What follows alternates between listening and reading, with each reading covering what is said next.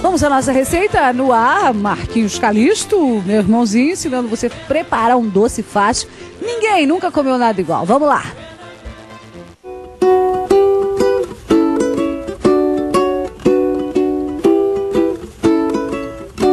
Pois é, nossa receita de família hoje para dar início né, a esse quadro de culinária que a gente quer passar para vocês de casa as melhores receitas, os segredinhos que as pessoas têm. A gente escolheu uma receita da minha família. Esse aqui, ó, meu irmão Marcos, ele mesmo capricha, né? O famoso docinho do amendoim, né, Kim? Esse doce, desde pequeno, a gente, quando a mamãe fazia em casa, né, a gente ela fazia e depois escondia, porque ela dava só dois, três docinhos pra gente. e a gente procurava nos armários, na geladeira, todos os lugares pra gente achar. Eu falei assim, não, eu tenho que aprender a fazer esse doce, porque eu não aguento comer um só, dois, três, porque é muito gostoso, né? Então a gente aprendeu e se aperfeiçoou, só não abrimos um negócio, né? E a gente vai dividir agora. Vamos primeiro aos ingredientes, vamos lá. É muito simples. Meia receita, o que seria? Seria é, meio quilo de amendoim cru, meio quilo de amendoim cru. Aliás, esse é o diferencial, o amendoim é. cru, dá um gosto melhor do que o torrado, muito Ele tem melhor. que ser com essa casquinha assim, Cris, ó, porque é o que dá, a, a, depois vai gosto dar... bom e a cor, gosto né? Gosto e a cor do amendoim. É meio quilo de açúcar, tá? Se você for aumentar a receita, para um quilo de amendoim, um quilo de açúcar e meio litro de leite. Uma boa panela, tem que ser uma panela, aliás, essa panela lá do Oba-Oba você encontra, olha só, uma panela é, firme, né? Uma panela grossa, né, para dar uma consistência bacana no doce, e uma colher de pau que também tem lá no baú, aliás, tem tudo lá. Vamos então? Primeira coisa, você vai... É, a gente pega o amendoim, assim, triturar. pega um liquidificador bom, da boa marca aqui, né? Lá na Carremar tem, hein? Lá. Isso. Aí você vai colocando o amendoim. Aos poucos? É, se o liquidificador for bom como esse aqui, você pode colocar tudo. Se você colocar tudo, você vai ficar com essa dificuldade aqui, porque ele tem que moer triturar. totalmente, ele tem que triturar todo o amendoim. Ficar mais ou menos como esses do fundo aqui, ó. ó bem trituradinho. Você, depois de todo moído o amendoim, em duas etapas ou em uma etapa, mas é melhor que faça em duas etapas. Você moa um pouco de cada vez, porque senão ele...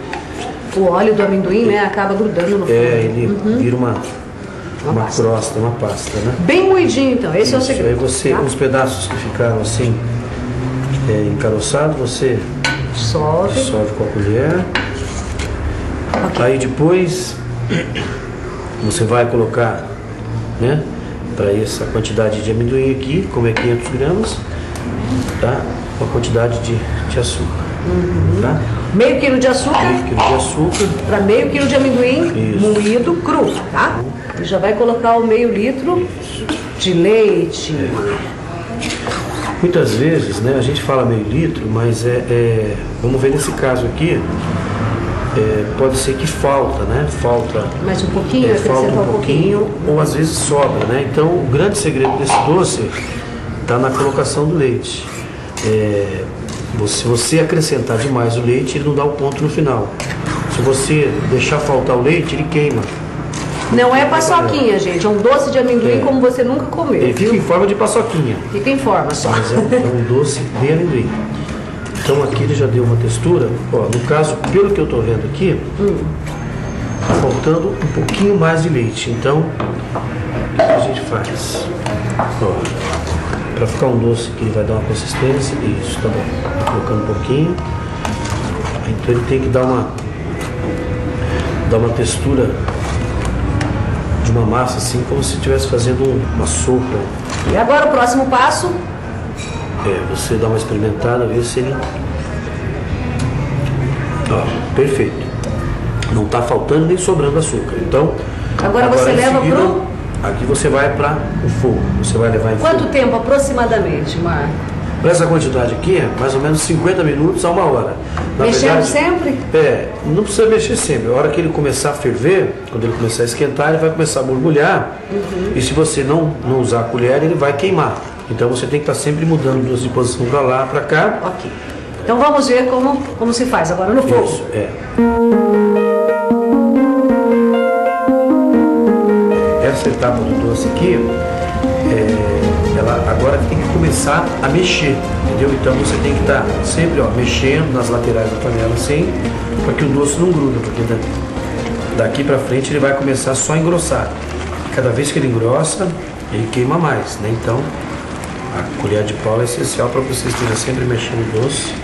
E eu quero é, agradecer, fazer um agradecimento especial, né, à Casa Modular, especialmente às cozinhas Italínia, né? Esse ambiente bonito que você está vendo em casa, uma cozinha Italínia é, que você pode fazer seu projeto aqui também na Casa Modular e ter uma cozinha como essa, num preço super acessível.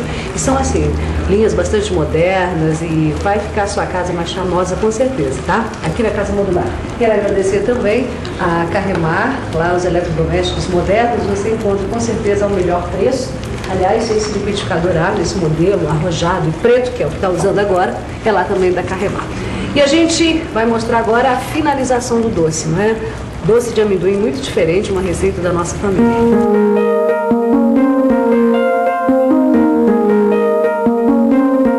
Esse aqui já é o ponto que, o, que aquele doce fica, ele estava todo na paneira, fica assim.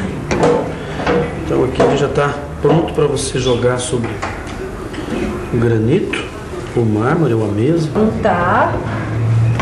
E aí no ponto certo, vai Pega jogar. o doce, joga na mesa. Depois você com as mãos bem limpas, né? Você vai espalhar ele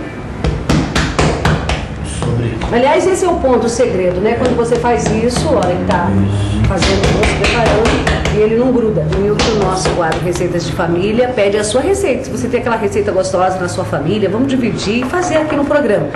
Ele não concorre à geladeira Bosch, que a gente vai sortear no dia 29 de agosto, entre as receitas aqui feitas no programa, tá, Kim? É, mas eu queria concorrer, né? Porque um doce desse aqui merece, né? Uma, uma geladeirona dessa aí da Mas Bosch, ele né? não, não vale. A gente só queria dividir com vocês uma receita que faz o maior sucesso lá em casa entre a minha família. E a gente mostra agora, então, a finalização do doce.